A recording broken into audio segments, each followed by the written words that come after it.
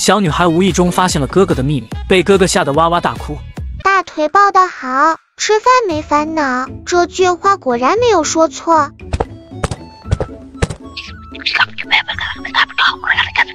楠楠，皇叔府上突然有急事，要先回去处理，等下让门口的侍卫哥哥送你回去好不好？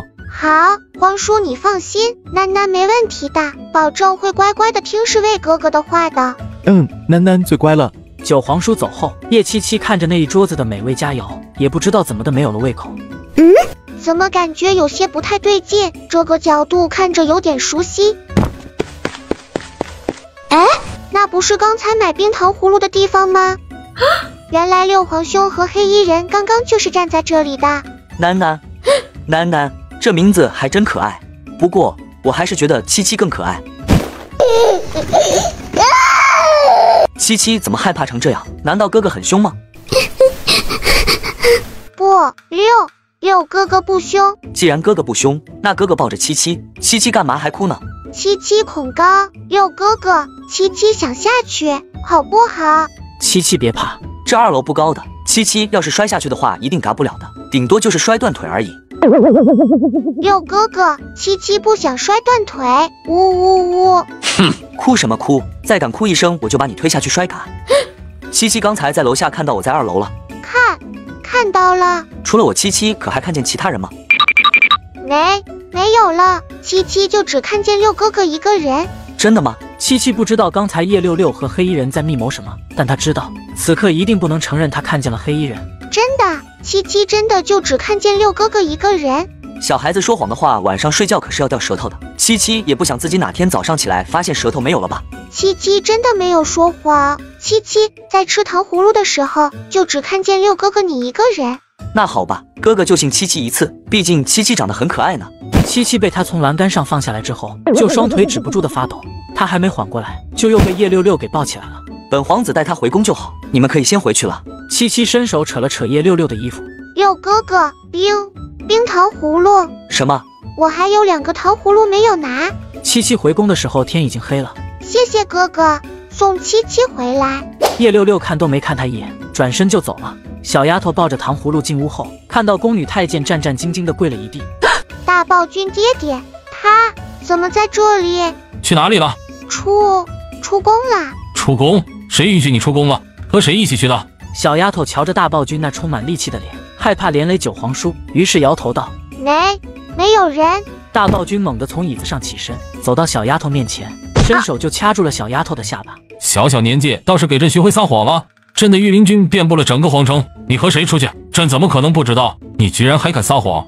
哼，朕还以为他能带你买什么东西，原来就是为了买这个廉价玩意儿。他不是，他是七七最喜欢的，不准你这样说他。大暴君以为七七口中的那个他是指的叶慕寒，眼睛都气得有些发红。好呀，才两串廉价的冰糖葫芦就把你收买了，竟敢反驳朕！到底我是你老子还是叶慕寒是？大暴君气得连自称都忘了，一怒之下一把扯过糖葫芦，狠狠摔在了地上。看着心爱的糖葫芦碎了一地，七七再也忍不住了。坏人，我讨厌你！哼，朕也没有指望你喜欢朕。来人，越进宫上下照顾主子不周，都给朕拖下去打二十大板！大暴君撂下这话，就怒气冲冲的离开了。坏人，坏蛋，大坏蛋！我再也不要和你说话了。大暴君被某只软团子气得三天心情都不佳，每天早朝，大臣战战兢兢的跪一地，一直跪到下朝。此刻，赵公公如履薄冰般的小心翼翼道：“陛下，九王爷求见。”让他滚。九王爷，您也听见了，陛下说了，让您呃回去。这个是囡囡让我帮她写的，不过当天走得急，我不小心把信带走，忘记给她了。对了，我记得陛下不是不喜欢吃甜食吗？那小丫头还特意买冰糖葫芦送她，确定陛下她肯吃？九王爷，您的意思是，齐公主那冰糖葫芦是买给陛下的？不然呢？起初本王还以为陛下对囡囡太过于苛刻了，可没想到他对囡囡还挺上心的，不然那小丫头还给他带什么糖葫芦？在宫外，本王让囡囡假装喊一声爹爹，这丫头都不愿意。唉，果然没血缘的比不上有血缘的，本王真的是白疼他了。九王爷走后，赵公公手里拿着那封信，一时之间不知道该不该送进去。就在他不知该如何是好的时候，大暴君出来了。陛陛下，您怎么出来了？拿来。赵公公不敢迟疑，急忙的将信呈了上去。